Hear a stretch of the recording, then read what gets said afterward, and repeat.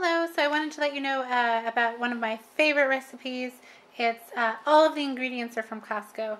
Um, we're heading skiing tomorrow at Big Sky, Montana, and uh, especially when we're cross country skiing or we're out for the whole day and we want to pack a lunch that's not going to spoil, that's going to be even more amazing by the time we eat it than when we made it the night before because uh, it has the time to marinate. Um, this is an awesome option. So um, we start with a little bit of basmati rice, which is from Costco. Um, cook that. So we usually just use leftover rice that we have. Um, and nothing's measured. Use as much as you'd like, um, depending on how many people you're feeding.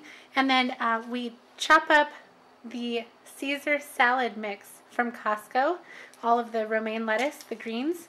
Toss that in as well. And then craisins, which come from Costco, or you can get them anywhere. Um, if you like it really sweet, add a lot. If you like just a little bit of sweetness for a surprise in the wraps, um, just add a little. And then we have our sliced almonds, which are amazing to throw in. Um, so easy and they taste so delicious in the wraps.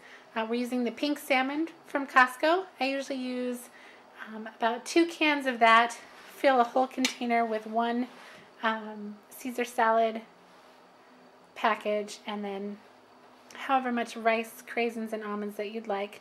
And then once you wrap that in the tortillas, we use the Truly Grain tortillas, but regular tortillas are great too. The reason I love these is they do have a lot of elasticity to them, um, so they don't break when you fold them. And you can pack, you know, eight of those in a bag in the locker on the ski day um, and have everybody happily fed with a really delicious, high protein, you know, with a little bit of evilness too to enjoy um, inside. Um, so this is one of our favorite salmon wraps. Um, I, I just thought it was fun and funny that everything that I use in it does come from Costco. So we've added the salmon and we put all of the ingredients together, including the salad dressing from the Caesar mix. You can certainly add the cheese also, which you'll see in there. Um, if you want to add the croutons, great. If not, save those for another meal from the packet. But you mix that all together and then you have two choices. You can either put this in the refrigerator till morning and then wrap your tortillas right before you go. Or you can wrap them now and they do hold up pretty well in these tortillas. They may be a little soft, soggy on the bottom.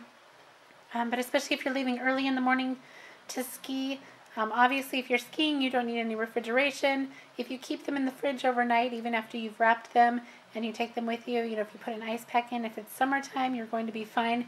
You do have the Caesar dressing in there, so you want to consider that you're trying to keep them chilled. Uh, but we have gone on extended hikes even, um, you know, midday and enjoyed them warm, and they're just as delicious warm as they are cold. So just uh, take caution with how you feel about keeping things refrigerated as necessary. So this is what the wraps look like, all wrapped up, ready to go in a bag for ski day. Um, other alternatives that we've used in the past are instead of rice or with rice, you can add beans any kind of beans. Um, I actually was just about to do that with this recipe, but then realized we had so much filling we really didn't need it. Um, you can also use cabbage instead of lettuce.